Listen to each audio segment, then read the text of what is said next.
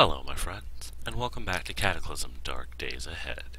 I'm Krata Lightblade, and I'll be your host for this particular apocalypse. Those of you who watched the previous videos will recall that we are currently located in Asphodel County, in an unspecified part of New England, and we are currently inhabiting one Jimmy Gerhardt, a none too bright fellow who nonetheless does quite well for himself out in the woods. We'll pick up right where we left off last time, right at the beginning. It was just yesterday that it all happened. The end came suddenly, and things have happened so fast that Jimmy didn't even have the time to get all the way out of town. Let's check in our new friend and see how he's doing. Now, first thing you'll notice is that this is what you might call a bit old school with the graphics, or rather, the lack thereof. This is called ASCII art. That's A-S-C-I-I. It is a very old way of representing graphical text through, well, text graphics. You'll notice that there are several symbols all over the screen. The one in the center is our little at symbol there. That is Jimmy Gerhardt. All of the other symbols represent other things in the world. The lines represent walls. The pound symbols currently represent benches or counters. The little sixes are computers. The blue one is functioning. The grayed out one is broken. The uh, light blue uh, quotation marks there, those are windows. And the plus signs are doors. The greater than symbol there is a set of stairs that go down into the basement. You will also notice that this screen will move when I start to hit buttons. That is because, well, we're moving and the screen always remains centered on our dear friend Jimmy. All of our character information is at the right side of the screen.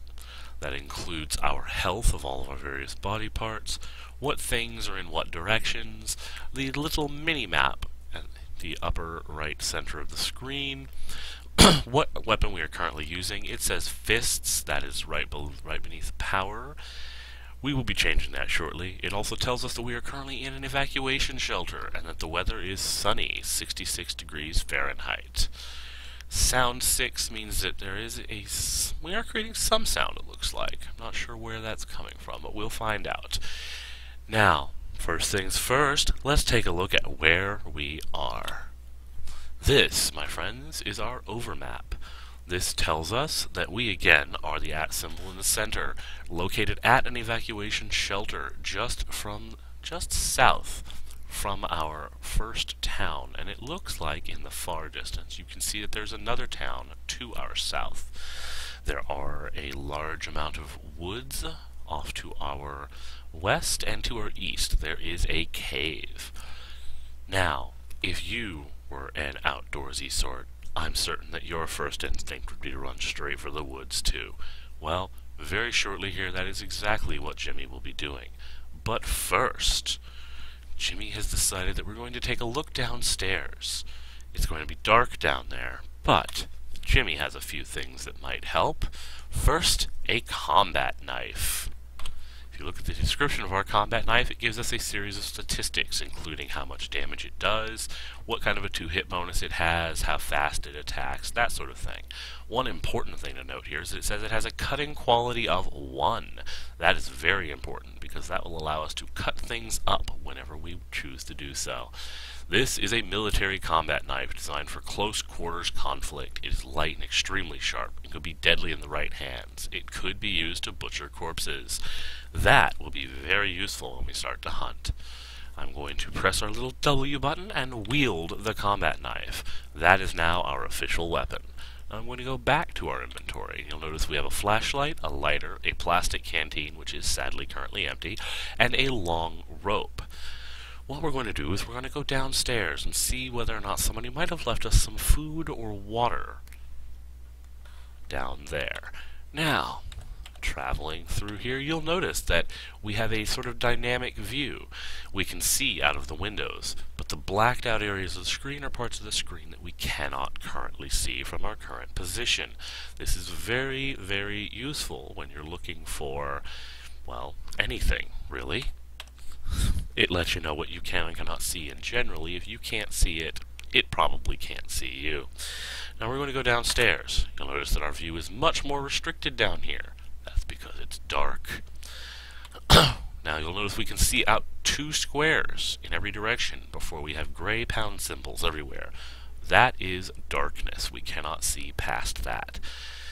However, normal characters can only see one square in every direction. We can see two because we have high night vision. Now I'm opening this door. I'm moving into the darkness, and first thing I'm going to do is I'm going to turn on our flashlight. Look at that. Activate flashlight. And look at that. We have objects. You'll notice that we have two question mark symbols and two brackets. Those are items lying on the floor. We're going to approach them and take a look at what they might be. Examine this.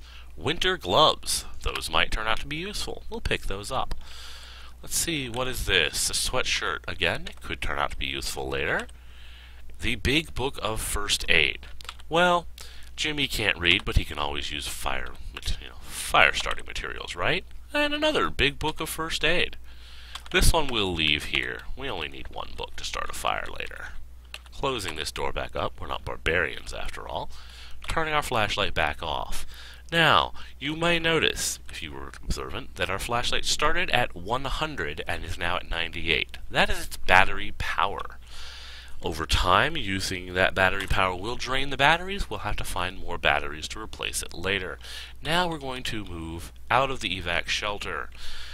I considered at first going for that cave, but I think we are better off traveling out towards the woods. Now, you notice that we are currently surrounded by all sorts of shrubbery. The little asterisks that you'll see scattered about, those are rocks. That little F over there, that is something a little bit more useful. You'll notice that there are messages scrolling up on the right side of the screen. The sunlight's glare makes it hard to see. Look at that. A mutated poppy flower. I don't think we want to touch that, but those can be useful later. Now then, we're going to move out into the woods. First thing, though, we're going to grab this rock. We're going to grab this rock. And we're going to move back to the evacuation shelter. Let's see here. Now then, I am going to smash this window in. Now then, use the construction menu. This normally tells us what things we can build. Right now we're just using it to clean the broken window out so that when I crawl through it I don't hurt myself. Because there is all sorts of broken glass after all. In fact, some of that glass is right here on the floor.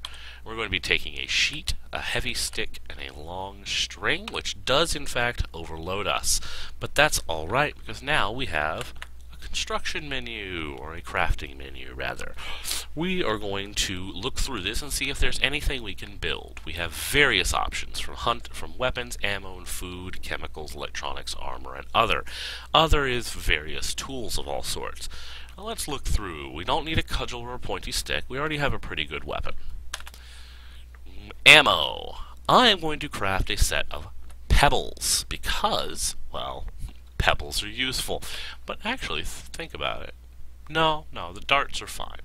We're going to use pebbles for now, because that will allow us to build a slingshot later and use it. Now then, what else can we make? In fact, do we have... Nope, sadly we do not know how to build a slingshot. But that's alright. Let's see, we can't make any sort of food, chemicals, electronics, armor. We can make a makeshift sling. That's the sort of sling that you put a broken arm in, not a slingshot, sadly. And other, a digging stick. With this, we could in fact dig small holes and pits. We're not going to be doing this right now. So, we don't really have much we can build, so I'm afraid we're going to have to drop some things. I'm going to drop these glass shards. We don't need those right now. Now we're going to move back out into the woods. Now, that sheet I took with me. You may be wondering why a window has a sheet. Well, because it was the curtains, of course. We can use those later to cut them apart or to make all sorts of things out of them. Oh, well look at this. What is this down here? I'm going to use my examine button. Look down towards here to see what these little things are here. Oh my! Those are webs. That means there's a spider nearby. A particularly large and unpleasant spider, by the looks of it. And up here you'll see an M. That is a moose. Moose are, well, ill-tempered and dangerous.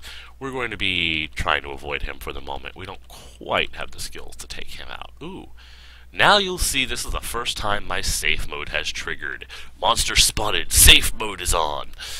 I have to turn safe mode off to be able to move around, or I can use my apostrophe button to ignore the monster, which is what we're going to do right now. That spider is probably not going to chase us, because he is in his webs. Oh, and look at that. We have another... Uh, I'm going to turn safe mode off for now, because we're going to be getting a lot of triggers from those spiders, and, well, we're not really worried about the spiders right now. Now, all of these ones and sevens, those are shrubs and young trees that uh, basically tell me that how you know that something is in my way. This here, however, is blackberries. Those are going to be useful, and I'm going to go ahead and eat those immediately. That way, with any luck, we will be able to, will be able to stave off hunger for just a little bit longer. Which is going to be an important thing. Oh, it looks like these woods were not very thick. Let's check our map again. Okay, yes, they do still go on for quite a ways. And up here, I thought I saw what might be more berries. Is that, in fact, going to be more berries? If so, I will be eating those immediately as well. Oh, it's an apple. Would you look at that? Apple. And that means, oh, look at that, a bright 7 instead of a dull 7. That is an apple tree. We can pick that apple tree and get a bunch of apples. What shall we drop? Let's... How about this? Why don't we wear our winter gloves for now?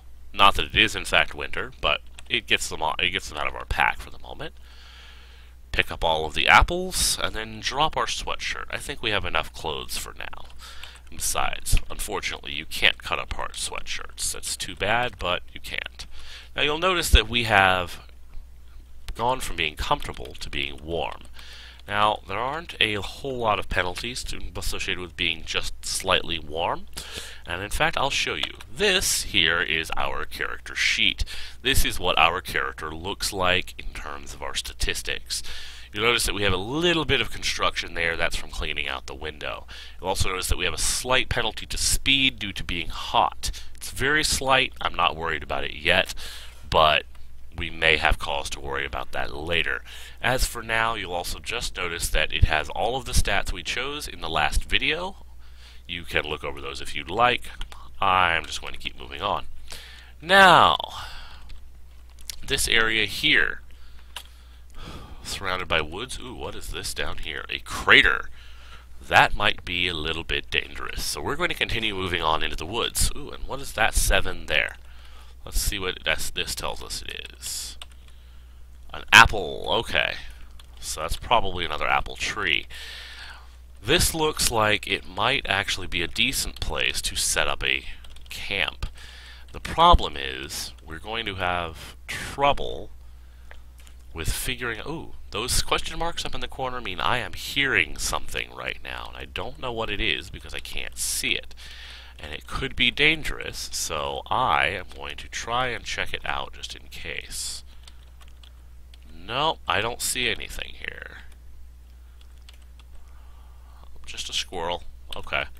We might be hunting those later. Ooh, more webs. That means more spiders. Okay, I'm going to move... Oh, more spiders. I'm going to move north from here and we're going to start to consider where exactly we might set up a temporary camp. Now, unfortunately, we do not have the skills or materials to build what I would really like to build, which would be some sort of a tent, I don't believe. Now, but what we can do, let's see... Materials... no, we don't need any of that, though the barbed wire might be useful later. Let's see. Containers, we already have something there. No, sadly we don't have anything to build there.